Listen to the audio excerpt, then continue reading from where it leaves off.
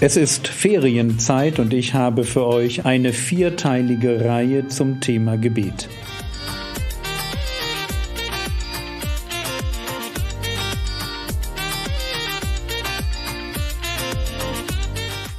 Theologie, die dich im Glauben wachsen lässt, Nachfolge praktisch, dein geistlicher Impuls für den Tag.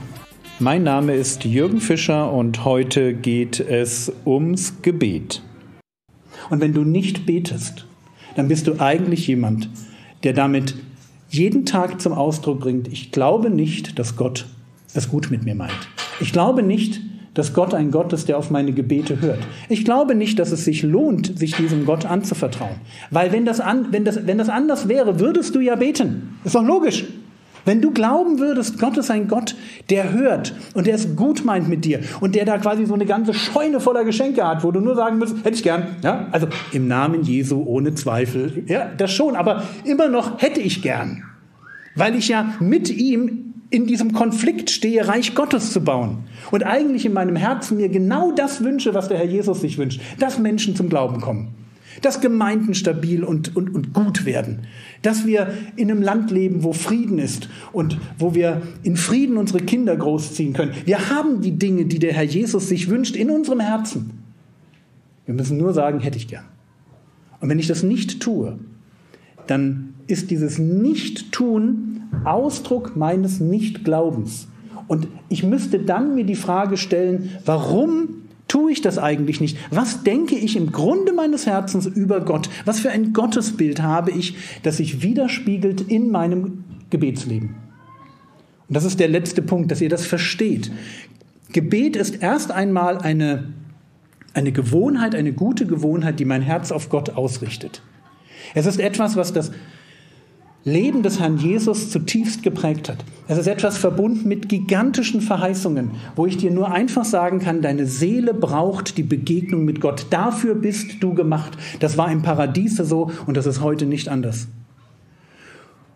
Wir dürfen erhörlich beten. Wir dürfen wissen, dass Gott unser Gebet erhört. Wir dürfen als Beter hineintreten in eine Schlacht, die am Kreuz gewonnen wurde wir, wir, brauchen keine Angst haben, wie das ausgeht. Es geht gut aus, aber wir dürfen heute daran teilnehmen.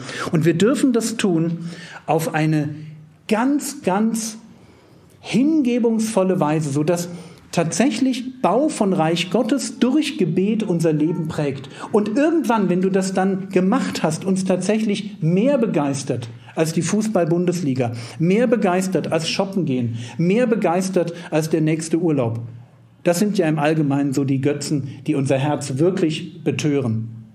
Mehr begeistern als die nächste Netflix-Serie. Keine Ahnung, wo du in deinem Leben begeistert bist. Aber ich, ich möchte euch diesen, diesen Ausblick geben, zu sagen, sei doch begeistert vom Gebet. Und deswegen der letzte wirkliche Gedanke, bevor es dann noch zwei Nachschläge gibt, lautet so. Zitat von mir wie Sexualität mich in der Ehe Beziehung erleben lässt und gute Gefühle macht. So lässt mich ein gesundes Gebetsleben im Glauben Gemeinschaft mit Gott erleben und erzeugt gute Gefühle. Oder drücken wir es ein bisschen platter aus. Gebet ist Sex für die Seele. Man muss es ja runterbrechen auf plakative Form. Ich sage es nochmal. Gebet ist Sex für die Seele. Das heißt, wenn du dich fragst, wozu gibt es Sexualität in der Ehe? Antwort, um gute Gefühle zu schaffen.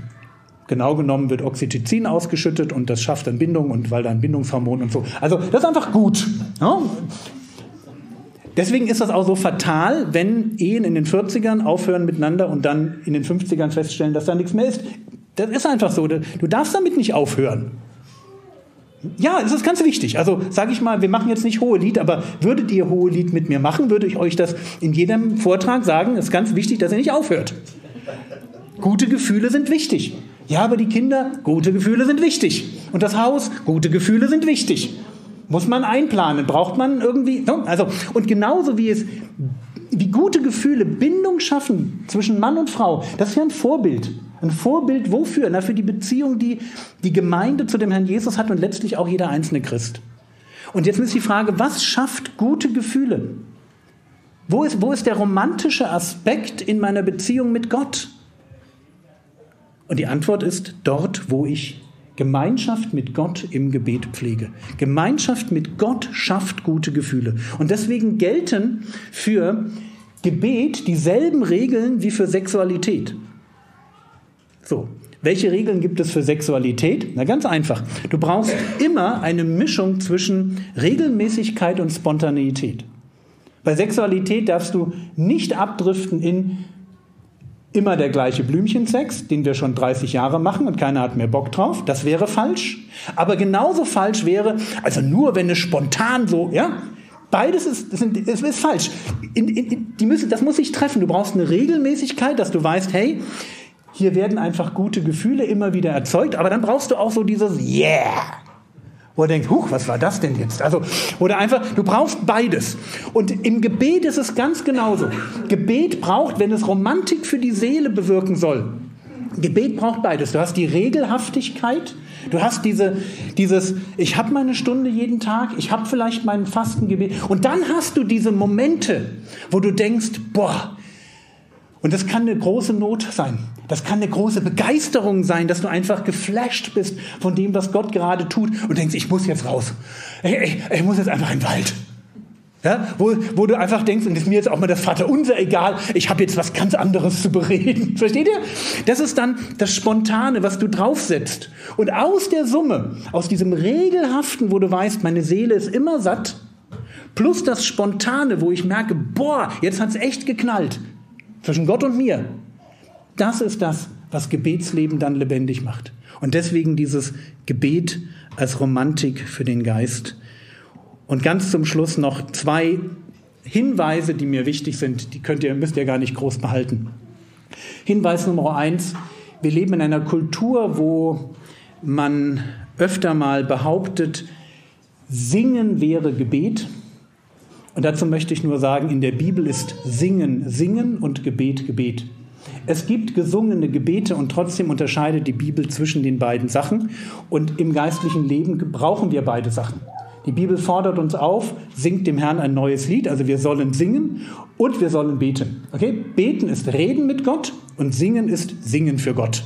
Dass ihr das nur nicht durcheinander bringt, weil manchmal wird das Singen oder das Worship machen anstelle von Gebet gesetzt. Macht das einfach nicht. Beides sind unterschiedliche Aspekte, unterschiedliche Ausdrucksformen meines geistlichen Lebens, die beide eigenständig gerechtfertigt sind.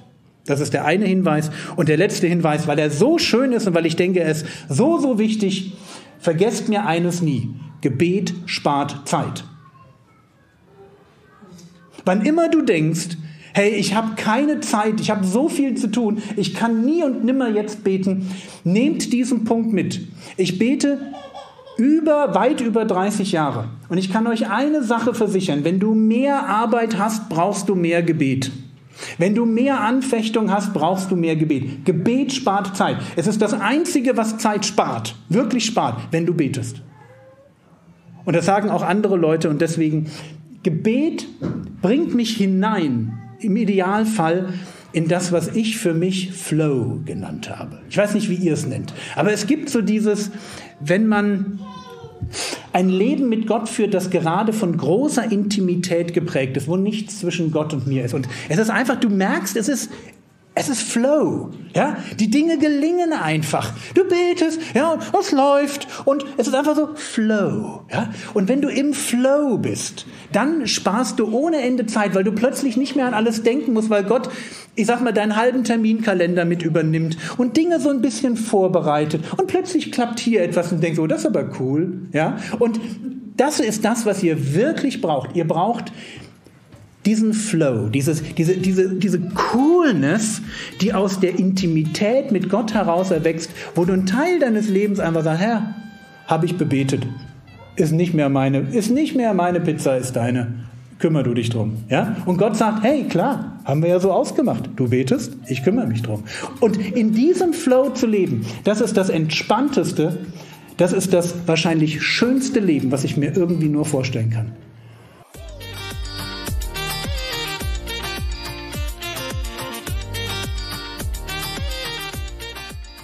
Das war's für heute. Nächste Woche geht es mit Antworten auf Fragen zum Thema Gebet weiter. Der Herr segne dich, erfahre seine Gnade und lebe in seinem Frieden. Amen.